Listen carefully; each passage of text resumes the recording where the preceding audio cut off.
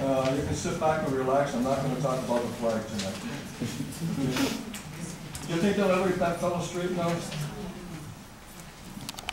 You know what I mean?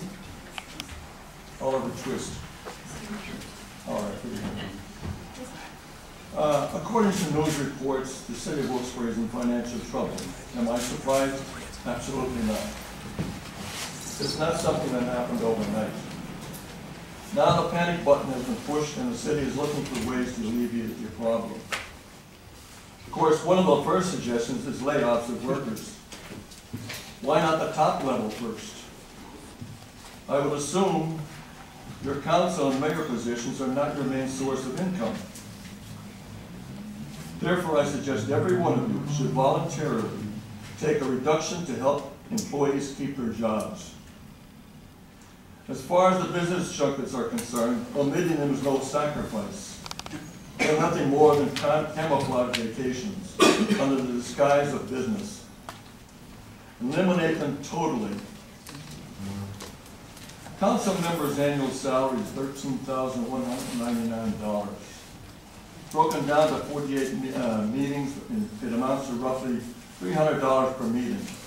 That's a nice piece of change. Plus medical benefits. The mayor's salary is seven, seventy-nine thousand nine hundred eleven.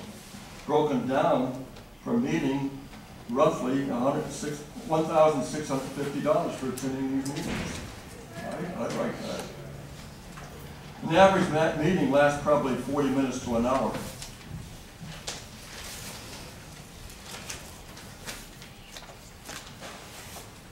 I know from past council meetings I attended, you all refused to answer questions I submitted.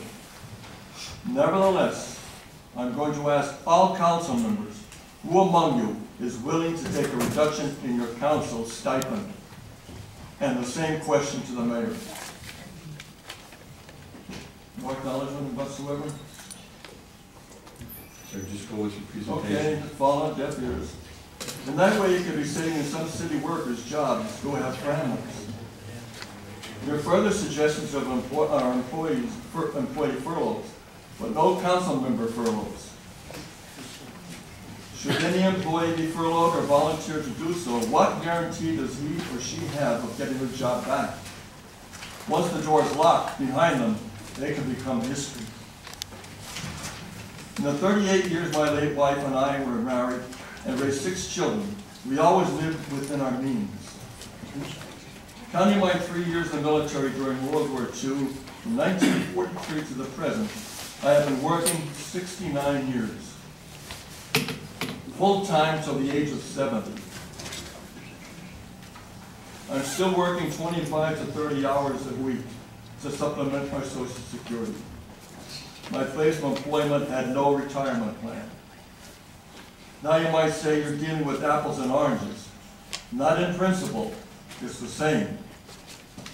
I think council and the mayor ought to take, take stock and start looking at their own income and be concerned more about the employees who have families to support. Basically, I would assume this is not your main source of income. But employees, that is their basic income, their pay. You're not under the same uh, guidelines or uh, restrictions or anything else of that nature. You have a lot of leeway. They don't. Their job is their main source, to support their families. And I think you ought to take that into consideration. Thank you.